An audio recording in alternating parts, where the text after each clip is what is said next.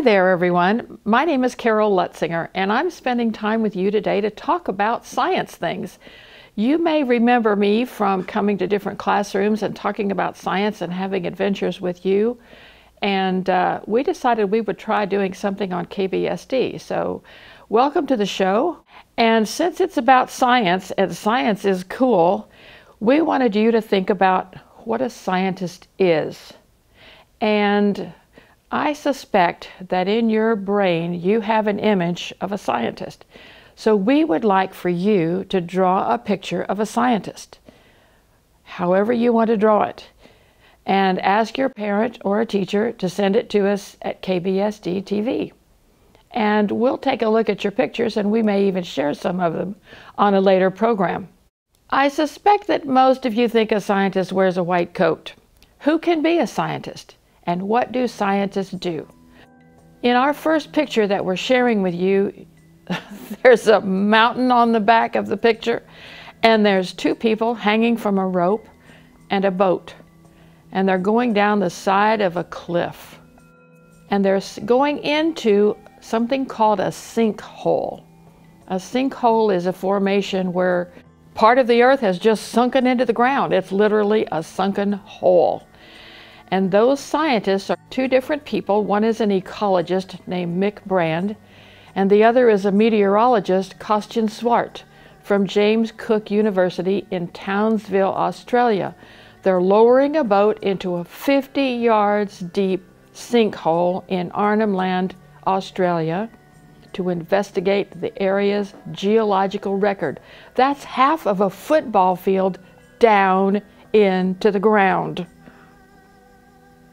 Ecologists are scientists who work with the living and non living things in an environment. There are many different kinds of ecological work.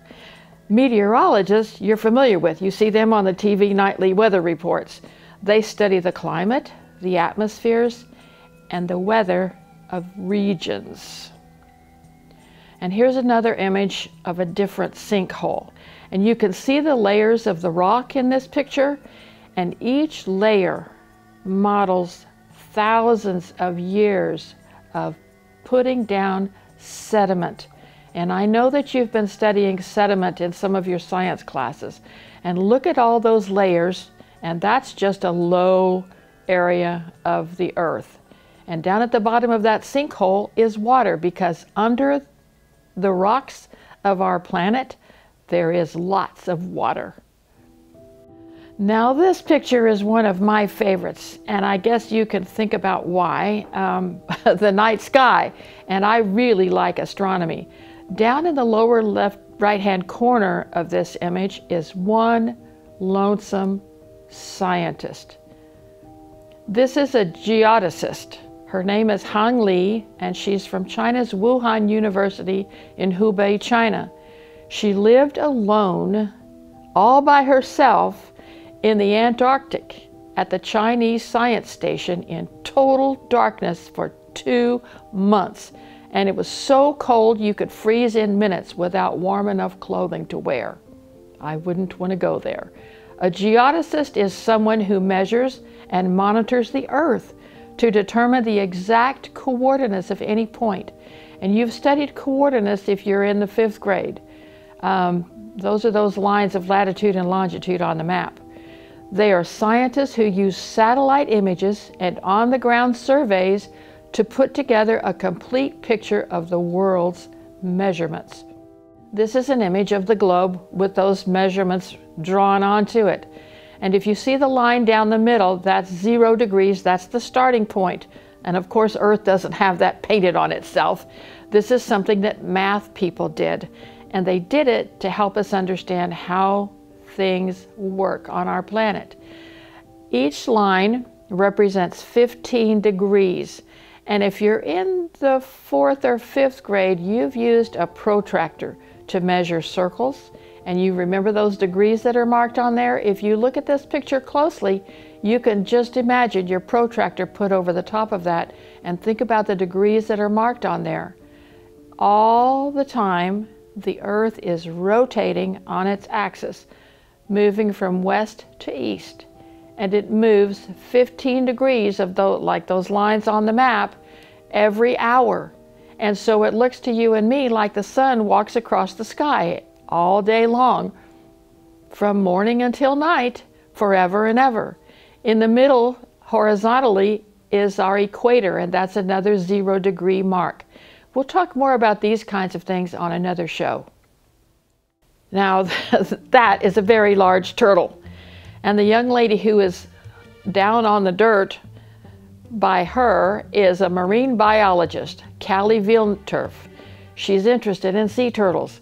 She works out of Olema, California, but in the picture, she's in South America, measuring temperature and pH and some other things and collecting data to protect the leatherback turtles as they lay their eggs on beaches in South and Central America. She and her colleagues told me that they ate powdered baby food for breakfast every day for five months while they were doing their work because the work was so important there was no time to have anything else for breakfast than powdered baby food. Do you know what kind of sea turtles nest on South Padre Island at Boca Chica Beach? This is a picture of two of the biologists who work with the Ridley Turtle Program out there, and I just gave away the answer. Maybe you'll remember that because we're going to be asking you some questions that you can submit your answers and responses to us at KBSD and maybe win a little prize or something. So let's let's think about what we have locally because sea turtles are an endangered species and they come to our Boca Chica Beach and South Padre Island every year to lay their eggs. And during the summer, those eggs hatch. And sometimes you can go down to the beach and watch them release those little turtle babies back into the Gulf of Mexico. Ethiopia is a place you may never have heard of. And when I look at this photograph, it makes me feel like I'm on a strange different, totally different planet than Earth. But this is planet Earth. And all of those structures in that picture are salt that the water has evaporated from and left those piles behind. The scientists who are studying these are microbiologist Hugo Moores and geologist Mika de Crane, who work taking samples from the volcanic salt plains in northern Ethiopia, one of the most extreme environments on Earth. If they find living organisms in there, and they do, these organisms are called extremophiles, and they're fun to think about, and you can do some research for those.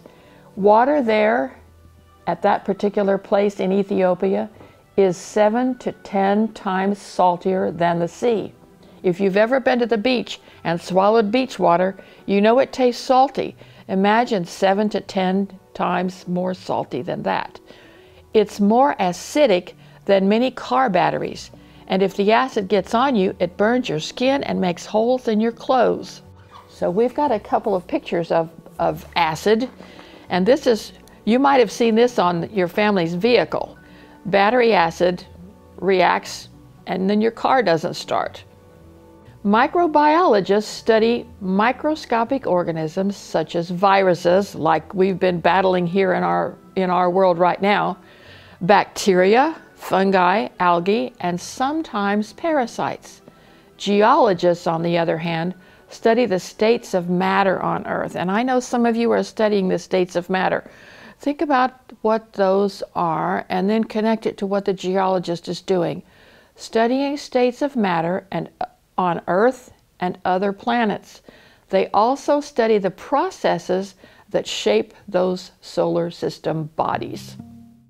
Oh boy, we go from Ethiopia, where it's hotter than you can think of, to where it's colder than anywhere else on Earth. These are interning scientists, and they're working to extract an ice core sample near McMurdo Station in Antarctica. The sun is so blindingly bright, reflecting off of that snow, that it's difficult to take good photographs, and it's colder there than any other place on Earth. If we go back to the picture, I want you to notice how every single part of them is protected from the cold and sunlight. They're using a drill to core down into the ice, and the ice is very, very thick. Their faces are covered, their heads are covered, their hands are covered. Every part of them that could be exposed to the cold is covered. And the reason they're wearing those dark glasses on their face, which you can't see but I know are on them, is because the sunlight is so bright. If they're exposed to it, they go snowblind. And that means for, for a while they can't see a thing. And so they wear all sorts of protective gear and they core down into the ice and then they pull out something that looks like this. This is an ore, a core sample drilled from the ice and it's about a meter long. And if you look carefully at this picture, you can see stripes in it. Dark ones, light ones, gray ones. Each one of those layers has happened at a different time in history. This is probably a two to 300 year old ice layer. And when they drill it out and they take it to the laboratories, uh, this is in a tent there in Antarctica where it's cold, there's no heat in there. And the scientists study it. They measure snowfall, they measure volcanic ash drift, and that's what that black layer is. There, there have been quite a few recent volcanic eruptions over the last couple hundred years, and those are all recorded in that ice sample from Antarctica at the bottom of planet Earth. Staying in Antarctica, these two scientists are in a little rubber dinghy out in the middle of the ocean, and you can see the piles of ice behind them, and you'll never guess what they're doing. They're chasing a whale, and they're using a crossbow to shoot an arrow into the whale it doesn't kill it and it really doesn't hurt it. At least no whale has complained yet. And what they're doing is taking a sample, just like they took a core sample of ice, they've taken a core sample of blubber and skin to track the health of the whale population. These two people are marine biologists. Greg Larson from Duke University in North Carolina and Ross Nichols of the University of California who were chasing a minke whale in the Antarctic waters, using that crossbow to get that sample of blubber and skin. And if you look at the picture, you can see that they've measured it with centimeters. So it's very important that at school you learn how to use the metric system because science uses the metric system. It's across the whole world. Everybody uses the metric system in science. And if you read the tape, it tells you when it was collected in 2003 and who collected it and where they collected it. So this would be a kind of an interesting job to do. How would you like to go get a sample of blubber and skin from a whale? Now this may look like a scene on the way to Boca Chica Beach or on the way to South Padre Island when people take their four-wheel drives out there in the mud flats and see who could get through them without getting stuck this is an ecologist. And she, it's a lady, and she has been trekking through a swampy area, and boy, is she mired down. You never think about a scientist wearing shorts and getting stuck in the mud, do you? Being an ecologist sometimes means getting stuck in the mud in the wetlands. An ecologist studies nature, plants and animals, and how these organisms interact with one another and the components of their environment. They work to preserve and protect species and ecosystems and solve environmental issues. This is Ashley McMahon, and she works in Australia. Another interesting, exciting place to be a scientist. And they're not wearing a lab coat and they're not working in a lab. Scientists have big adventures all over the place. This is a special scientist. Look at the terrain that she's on.